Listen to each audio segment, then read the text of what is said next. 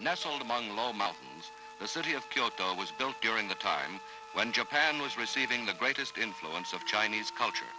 And the checkerboard layout of the streets followed the Chinese idea of a number of large streets intersected at right angles by a series of broad avenues. Like many cities in Japan, Kyoto looks dull when you first see it. But the initial disappointment soon gives way to the discovery of one of the most fascinating of cities. And it is here that one can have the experience of really getting to know Japan. The rise of the cultural institutions, arts, and sciences that the world regards as typically Japanese developed over the 1100 years that Kyoto was the country's capital, which was from the year 794 to 1868.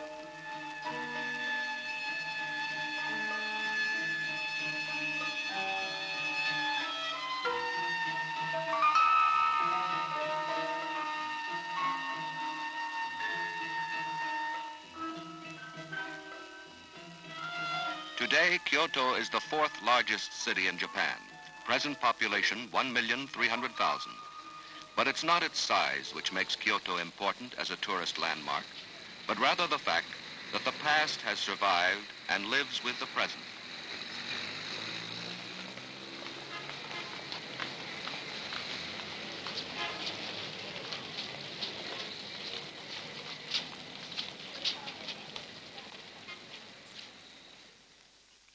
The center of the city, the 220-acre Imperial Park provides the setting for the former Imperial Palace, residence of the Emperor until 100 years ago.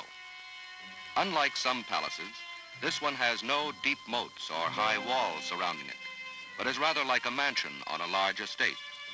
Pavilions and gardens form a pleasing pattern of foliage and architecture, a serene combination of land and buildings.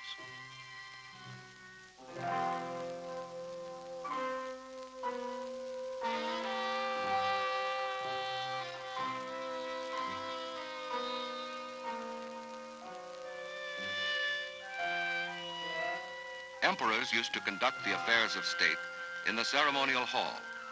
Even though the seat of government was moved to Tokyo, the hall has nevertheless continued to be used for coronations. For this reason, the people of Kyoto, in their hearts, still consider their city as the capital.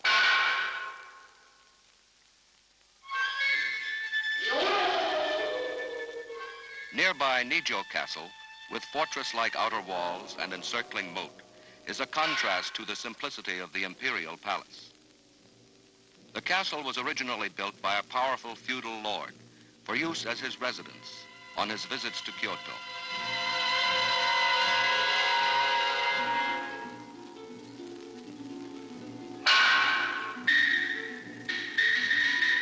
Looking from the spacious inner courtyard, it is apparent that the buildings here have been much more elaborately decorated. Nijo Castle is noted for the grandeur of its decorative wood carving and for its collection of paintings, a heritage from its glorious past.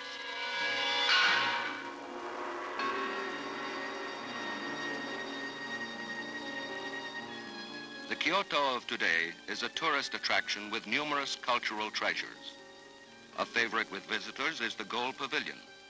It provides an interesting glimpse of the life of the nobility in the 14th century. Of all the many historic buildings in Kyoto, the most outstanding architecturally is probably the Katsura Imperial Villa. This classic of Japanese architecture was built in the year 1590 for the use of an imperial prince. Enhanced by quiet, peaceful surroundings, it is a creation of pure Japanese beauty. The simple lines are considered very modern even today.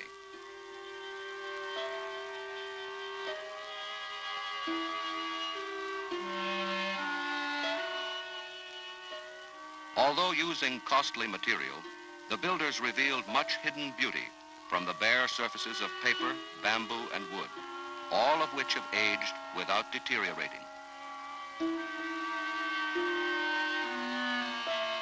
The Japanese have a knack of making the garden part of the house.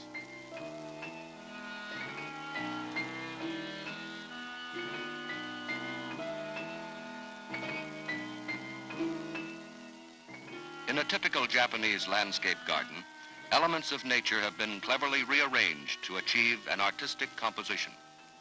The greatest single feature of Kyoto's beauty is its simplicity and austerity. The rock garden of the Ryoanji Temple is simplicity carried to a bold extreme. The severe abstract beauty expressed by carefully raked white gravel and a few rocks have much in common with modern art. This Japanese way of thinking, to consider simplicity as beauty, is the influence of Zen, a Buddhist sect. Buddhist temples have played an important role in the development of Kyoto. Toji Temple was one of the first to be built. Its five-storied pagoda, 182 feet high, is the tallest in Japan. Other buildings in the temple contain immense collections of ancient art.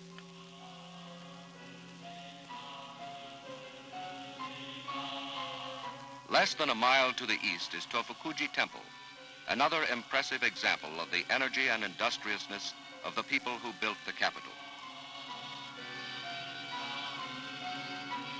This ancient Buddhist temple conveys a strength and durability oblivious to the passing of time.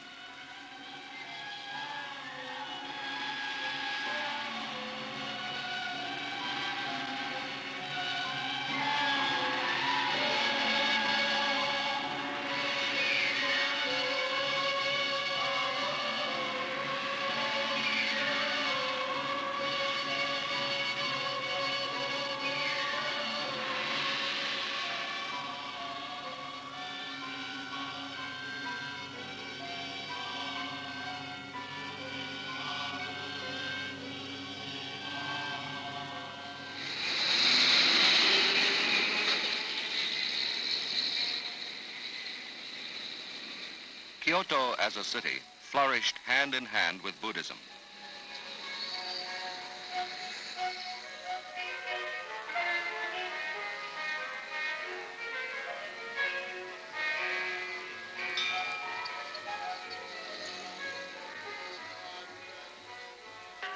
Throughout the city, everywhere one goes, there are temples. This is the main temple of one of the most popular Buddhist sects, Jodo Shinshu. Its political power was so great that an otherwise arrow-straight streetcar line makes an unexpected detour in front of the temple entrance.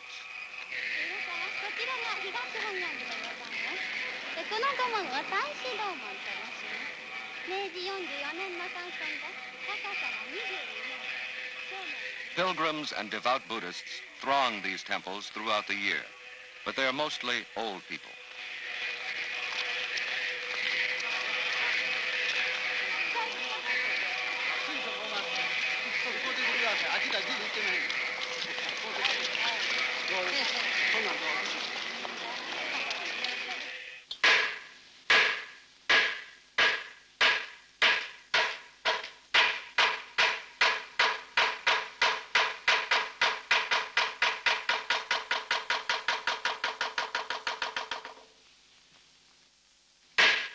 'That was the signal for the start of another day of ascetic exercises of one of the Zen seminaries, which are similar in many ways to European monasteries.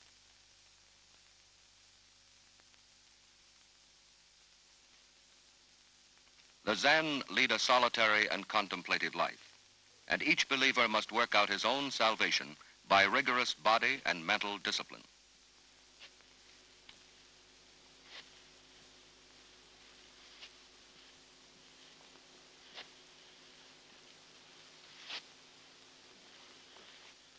In performing meditations under strict Buddhist precepts, they cut themselves off from earthly desires, scrutinize their inner selves, and try to attain enlightenment.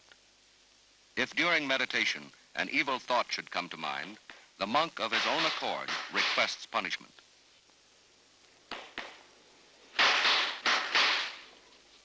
The life of Zen monks is very austere.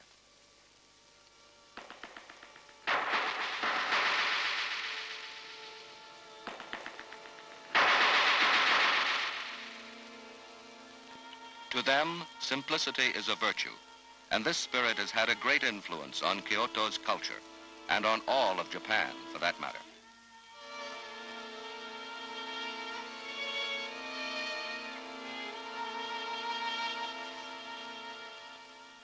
Right next to the Zen temple is a university, one of many to be found in Kyoto. The tradition of learning is deep rooted in the schools of this city which is still a major center of education.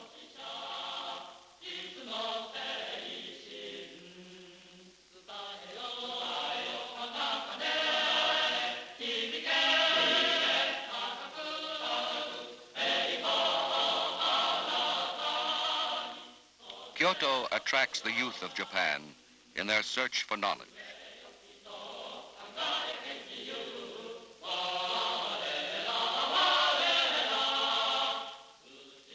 It is a city that warmly welcomes students and treats its university professors with much respect.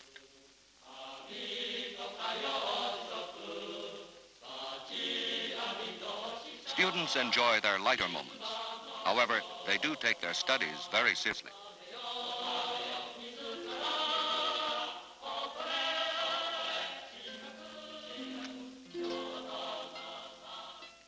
Kyoto universities are centers for physics, philosophy, and Oriental studies.